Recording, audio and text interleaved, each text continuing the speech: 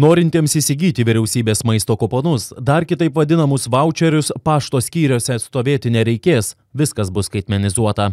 Kaip tai atrodys, tai yra jūsų mobilus telefonas, į kurį, kaip jau minėjau pasitarimo metu, nereikės niekur teikti jokių pažymų, nereikės išsiminėti iš jokių institucijų, kad jūs auginate vaikus, nes valstybė šitą informaciją turi.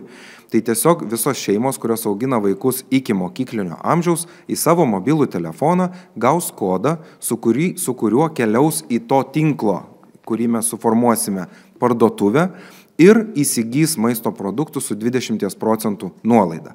Tai ir bus to e-voucherio veikimo principas.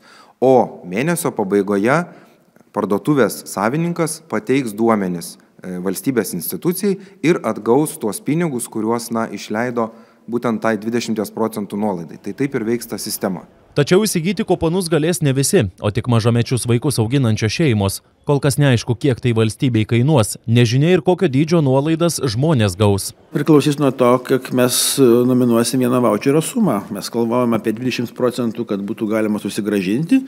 Tai jeigu vienas voucheris bus 10 e, eurų, tai bus viena suma, jeigu bus 50 eurų, tai kita, jeigu 100 eurų, tai trečia. Tai dėl to Šiandien tikslios kainos pasakyti negalime. Planuojama, kad vienam vaikui bus priskirta iki trijų kuponų per mėnesį. Juos išleisti reikės per vieną mėnesį, ilgiau jie negalios.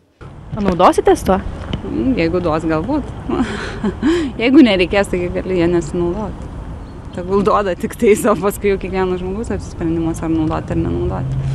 Nepriversi. Iš dalies, jeigu pagalvojus kitos pusės, gal bereikalingi kaštai gal pasikels tos kainos tos mažos parduotuvėlės, gal ir be reikalo. Nu, nemanau, kad labai jau reikalingas daiktas. Man kaip nuolaida gerai labai. Pastovi gerai. Naudos aš nelabai matau, nes reikės ieškoti tų parduotuvių, važiuoti specialiai.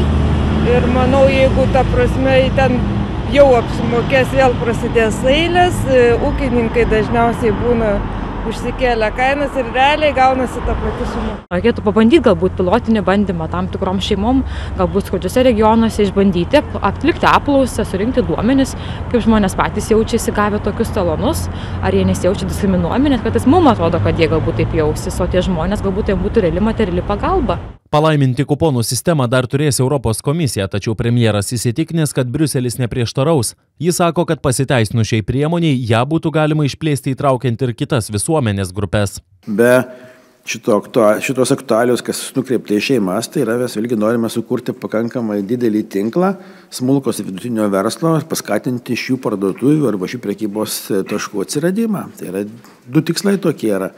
Sakau, nuo kažko tai reikia pradėti. Smulkioms parduotuvėms teikti kitais metais ketinama skirti ir 5 milijonus eurų.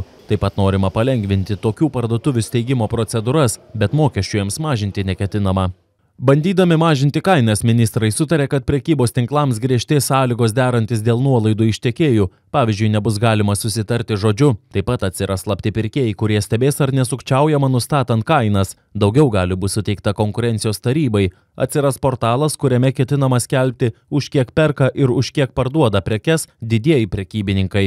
Mes kaip organizacija visą laiką sakom, kad už lygias konkurencinės sąlygas visam verslui e, ir visiems vartotojams. Šiuo atveju, ką girdime, kad vis tiek yra išskiriama Planuojama, kad smulkus paramos sulauksintis ir kuponų sistemoje dalyvausintis verslas turės turėti iki dešimties darbuotojų, o metinė apyvarta neviršyti 300 tūkstančių eurų. Reporteris Mindaugas Vasiliauskas, Vilnius.